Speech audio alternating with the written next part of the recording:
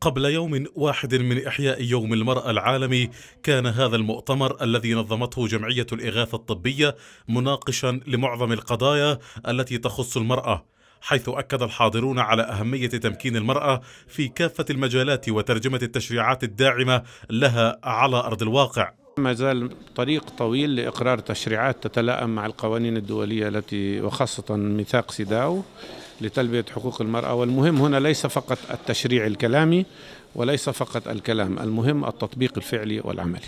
إحدى الاستراتيجيات اللي نعمل عليها هو تمكين المرأة من ناحية اقتصادية، تمكين المرأة من ناحية سياسية وتمكين المرأة من ناحية اجتماعية، بل ومساعدتها على على الوصول إلى مواقع صنع القرار القرار. وقد أظهر المؤتمر الذي جاء بعنوان النوع الاجتماعي في فلسطين الخطوة القادمة على ضرورة مشاركة الرجل بجانب المرأة لتعزيز النوع الاجتماعي في فلسطين بالإضافة إلى أهمية البدء بتطبيق هذا المفهوم من الأجيال الصغيرة. تمكين النساء هي مش قضية نساء لوحدهم تمكين النساء هي قضية مجتمعية هي تهم الرجال وتهم النساء بنفس الوقت. أنا بشوف أنه لازم هذا الإشي مش نبلش فيه بالسيدات أنفسهم ولا بالرجال نبلش فيه من الجيل الصغير. نحكي أنه الجيل اللي رح يبني لقدام نبلش برياض الأطفال وبالمدارس.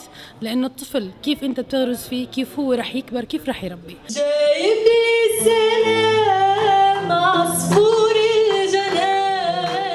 وقد تضمن المؤتمر فقرات فنية متنوعة بالإضافة إلى عرض قصص نجاح لنساء ورجال في الإغاثة الطبية مع عرض خطط تقييم الاستراتيجية للأعوام القادمة في النوع الاجتماعي.